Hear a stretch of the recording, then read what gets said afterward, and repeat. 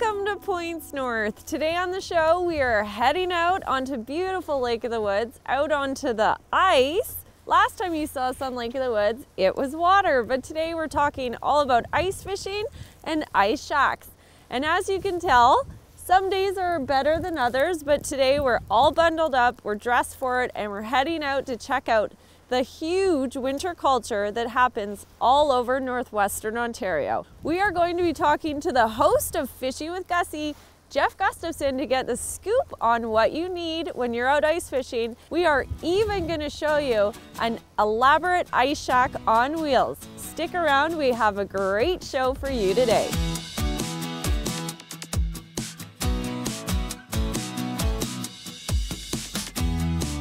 We are with Fishing with Gussie host Jeff Gustafson and Muggins, who's now a celebrity, and we're here to talk basics with ice fishing. So, Jeff, give us a rundown. What do I have in my hand right now? that's a hand auger, and we need you need an auger to drill holes. So that's sort of the old-fashioned way. Early in the season, um, when the ice isn't that thick, these things are awesome. But once you get to you know January, February, March, the ice gets thick, these things are a real workout to When drill we're with. so- talking about thick, how how many inches of ice? Uh, well, I would say if it's less than 10 inches, less than 8 inches, then the hand auger is good because it's really light. You can carry it around. Um, and a little exercise never hurt anybody, but you start drilling through like three three feet of ice, like we'll have in March with that, and Yeah. it's going to be a An arm burner? yeah an arm burner, big time. There you but, go. So then we get the power augers. Uh, you can see I have a little bit bigger um, auger on here, and uh, yeah, these are the ticket for drilling through, you know, that thicker ice. They're fast, but they're a little bit heavier. Um, you know, you can't you can't just throw them in the back of your snowmobile sleigh and, and or they're gonna get beat up. So. There's a little bit of a trade-off. The hand augers are definitely nice, but when you get late late into the winter, the, the power augers are a little bit better. Um, couple other essentials for for going out ice fishing are uh, electronics like this little flasher. Uh, these things will show you how deep it is. They'll show you fish that are on the on the bottom. They'll show you your lure, and they show you how fish interact with your lure, so you can figure out you know how to jig your your bait to trigger those fish to strike. There's no question that they help you catch more fish. In fact, I don't even le- really like to go ice fishing if I don't have this thing with me. So they're Oh, there they're- you go. Yeah, they're good. Jeff Gustafson said. well, you know, as far as rods and reels go, well, okay, my question is why are ice fishing reels so much tinier? Or Just- rods so much tinier? just so that they're a little bit easier to cart around. If you're fishing in a shack like this, uh, which we'll set up, you don't have as much room. So if you have a six foot fishing rod, you're gonna be banging it into the wall. And, Right. Um, yeah. so, they're equally as strong? Well, you know, you don't have quite as much, you know, power with a short rod like this, like you would with a longer one. But um, just for, for you know, sitting there jigging, they do the job, and they come in different actions. You know, this is sort of a heavier version for walleyes or lake trout. This one's really light for crappies and perch. So that's kind of the the deal. But yeah, the shorter rods are a little easier. You still see people that use the long open water rods when they're out there, but if you want to mm. fish inside of a shelter, you know, and on those crappy days, you definitely Yeah. need the short rods. Like today. Like today. we're experiencing, although it's beautiful, the temperature is beautiful, we're experiencing one of those not so No. perfect days to not have a shack. No. And I'm going to Florida here in about a week, so I'm just counting down the days. Yeah, it's not fair. All right, if anybody's afraid of being cold when they're out ice fishing, I got the answer for you. Um, these fish shacks, portable fish shelters like this, they come in a number of different varieties and styles, and they're the ticket, man. I, uh, you can get in here, put a heater on, and be warm in pretty much any condition. well, it just put a whole lot of fun into ice fishing for me because I don't have a shack. Yeah, Don't have a shack, and we have children. Yeah, So you can exactly. keep you can keep the kids in here, and they're everybody's happy. And So there was, um, you were talking about um, ice fishing these days, and we were talking about winter culture. So inside this little number, there's This- actually, it, it comes with everything. Yeah, and we'll uh, I'll open it up here. But yeah, this is how it sort of sets up. So you can sit, pull your seat up and just kind of sit there, and you have a hole right here. And In a way. if it's raining or snowing or windy, you're in here and you don't notice any of that stuff. But yeah, ice fishing is definitely fun, and if you live in this part of the world, you should definitely take advantage of it because we have some of the best ice fishing opportunities in the world. All right, well, we're gonna go take a look at some walleye fishing on Darlington Bay, and uh, This is from the super exciting brand new season of Fishing with Gussie 2013, which kicks off in March. So enjoy this little clip. Today we're fishing on the Winnipeg River, just real close to Kenora.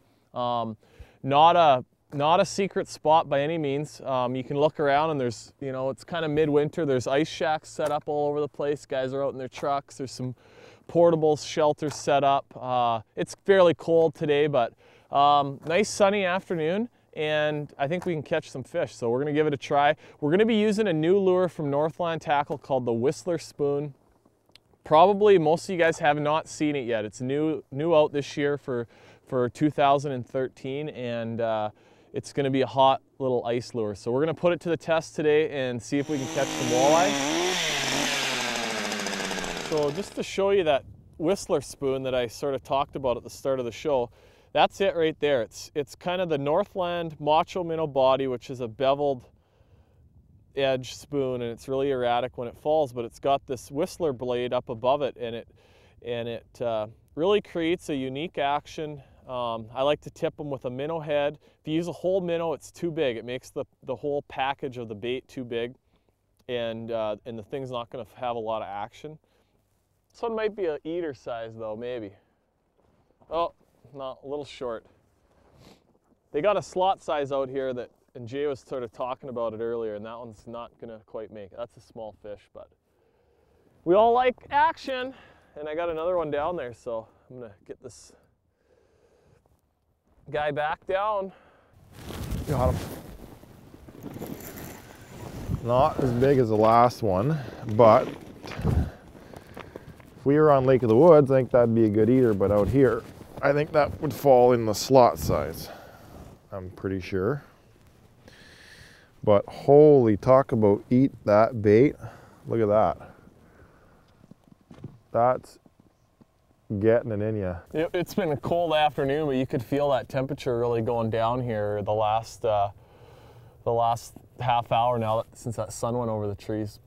Yeah, that sure has, and you know we had uh, we had a real good flurry of fish just uh, just in the sun was going down there, and uh, you know things are starting to quiet down.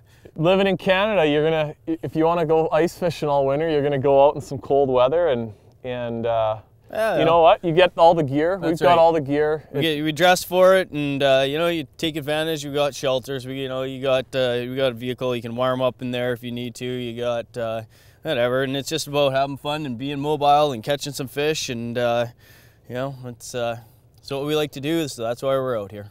All right. Well, thanks thanks for uh, coming out, and we'll uh, we'll do it again. I'm sure. Oh yeah, probably sooner than later.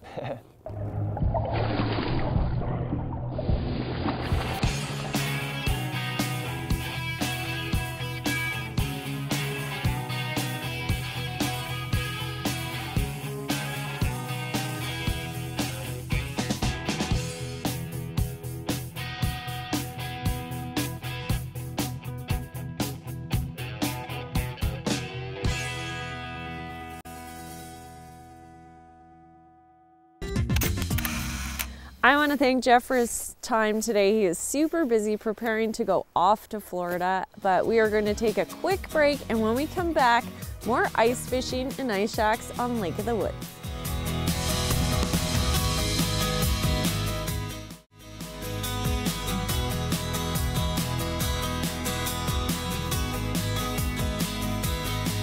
Welcome back. And seeing how we're heading out on the ice today to do some ice fishing and to catch up with some ice fishermen and check out some cool shacks, we decided to catch up with Steve, Steve Harkov from the MNR to get some of the particulars about what we should know when we're out on the ice. So, Steve, what are some of the things that people should have on them at all times in case they meet a conservation officer?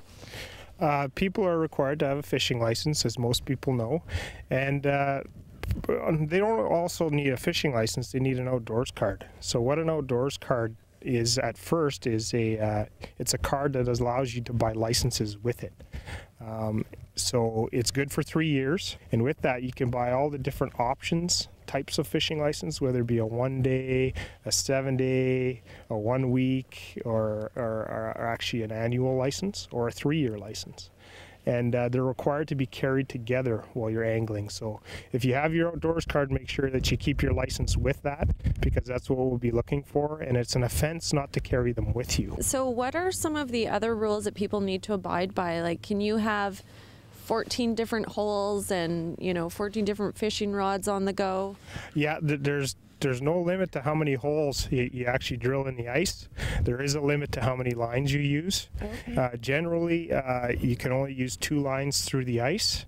It is important that uh, people do review the regulations for where you are fishing, though, because there are exceptions uh, depending on what, what, water body you're on. The, the exceptions are found in the regulation summary. Yeah. The regulation summary right here is uh, printed annually and when you go through that, uh, it, uh, it, it will show the zone. We're in Fisheries Management Zone Five here, okay. uh, and uh, Lake of the Woods is included in that. Winnipeg River is included in that, and there's exceptions on those different water bodies, and sometimes even bays are, are there's exceptions. So. so. do you sometimes need different fishing licenses for different zones as well? No, fish. The only uh, difference in fishing licenses is your residency. So if you're from Manitoba, you would need a Canadian resident license. If you're from Ontario, you need an Ontario resident license, and there's also a non-resident U.S. license for our U.S. Uh, guests. So, what are the most common issues when you're out on the ice and you're checking shacks and fishermen? What are some of the most common issues that you see out there? Uh, we we with regards to issues, I mean it's. Uh, it's it's unpredictable, but I mean we run into people with over limits, uh, people fishing with extra lines, basically neglecting to read the book and, and understanding the rules before they're going out. Excellent. So, um, is there any other type of safety tip that you would like to tell people um, before they head out on the ice? Uh, know the ice conditions, uh, know where you're traveling. There's all kinds of local knowledge at bait shops and, uh, you know, local people that know the ice well. Stick to the main paths and, uh, you know, um, be safe out there with regards to uh, riding snowmobiles and uh, and using vehicles out on the ice. I mean, there's all kinds of restrictions and rules around using off-road vehicles, snowmobiles, and ATVs out there. So just be safe using uh, using that equipment as well. Excellent. Well, thanks for your time today, Steve. We're super pumped to get out on the ice. Stick around.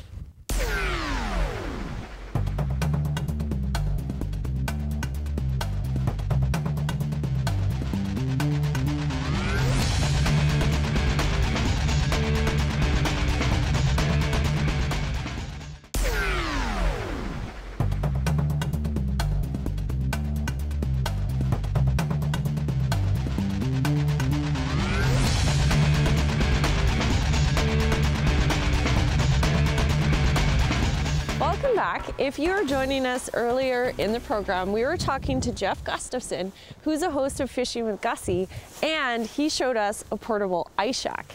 We're about to go inside and bug these guys and see what their ideal day on the ice is. But first, we're gonna catch up with Bruce Beringer, who made an elaborate ice shack out of an old water tank. Shelly Bujold has this story.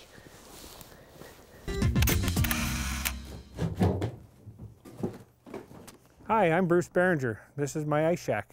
Come on in, we'll have a tour.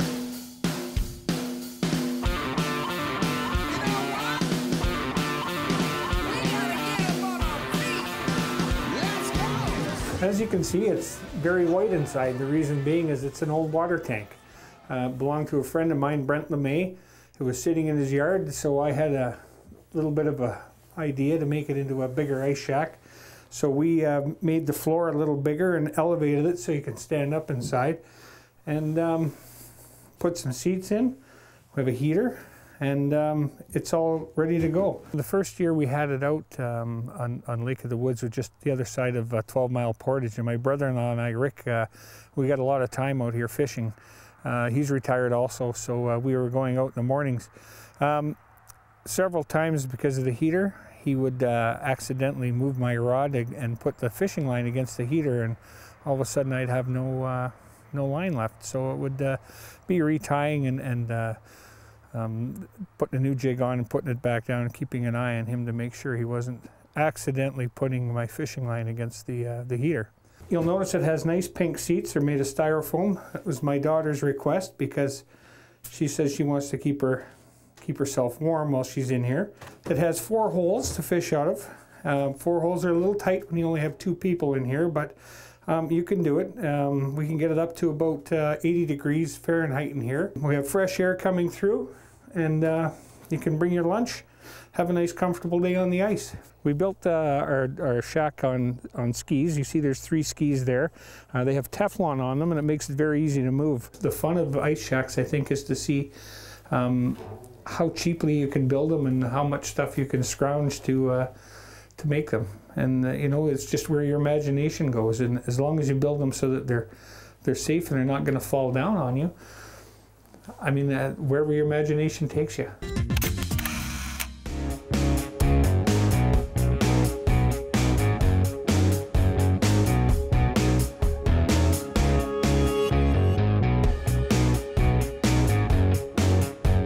Welcome back. I've cozied up with Mike and Graham in their little portable ice shack, and these two are actually fishing guides in the summer. So Graham's here visiting and doing a little ice fishing on his holiday. So Graham, what are some of the essentials that you take out with you when you're ice fishing?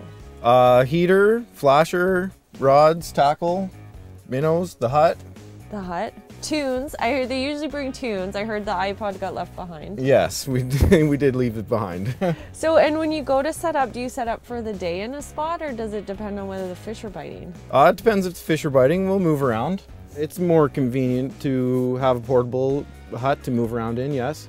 Thank you, boys, for letting us invade your little um, fishing affairs here. And we're going to take a quick break. And when we come back, we're going to finally show you an elaborate ice shack from Vermilion Bay.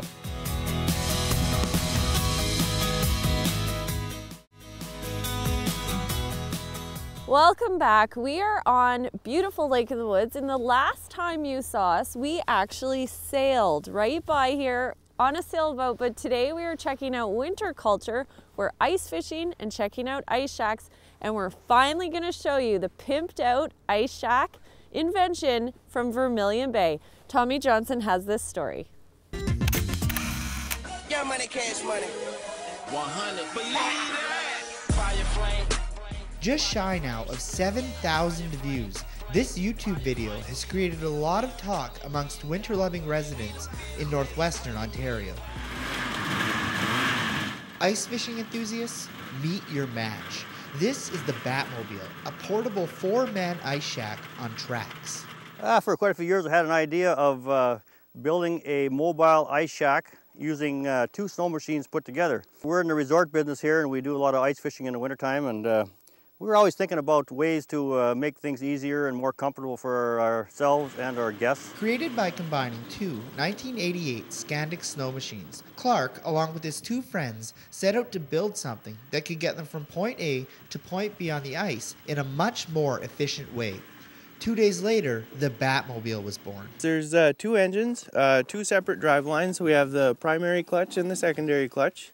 Uh, driving the chain case and we have reverse on both chain cases and then essentially it runs down and drives the two separate tracks underneath. It was probably the most interesting project I've ever uh, been involved in. Uh, it was uh, a lot of fun. It was quick, but it was a lot of fun. What's nice is, you know, even on a day like today when it's uh, uh, minus, uh, 25 and winds blowing, like a minus 30 wind chill factor, at least now you can uh, drive out to your fishing hole, uh, drill your holes, and like I say, you, you can sit four people in there and fish uh, nice and comfortably with the propane heater in there.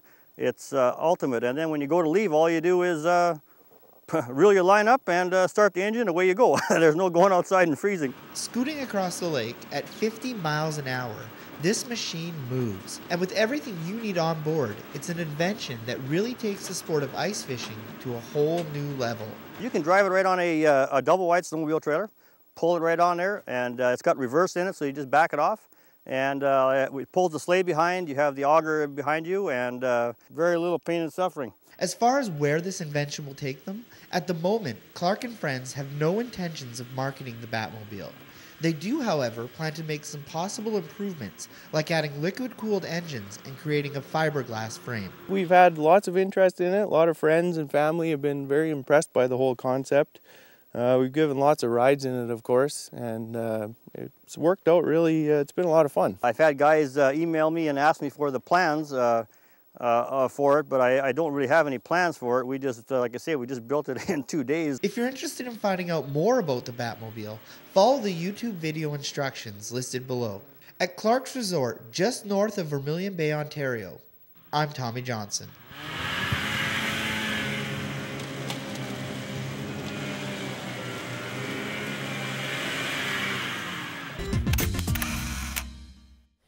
Thanks for joining us on another Points North. We wanted to remind everybody that fishing licenses expire every year on December 31st. So make sure you've renewed your fishing license for 2013. We had so much fun today. You can check out some photos on Facebook, Key Search Points North. You can also email us with some of your ice fishing and ice shack photos at cjbnpointsnorth at gmail.com or you can always find us on Twitter. Have a fantastic night and we'll see you next week.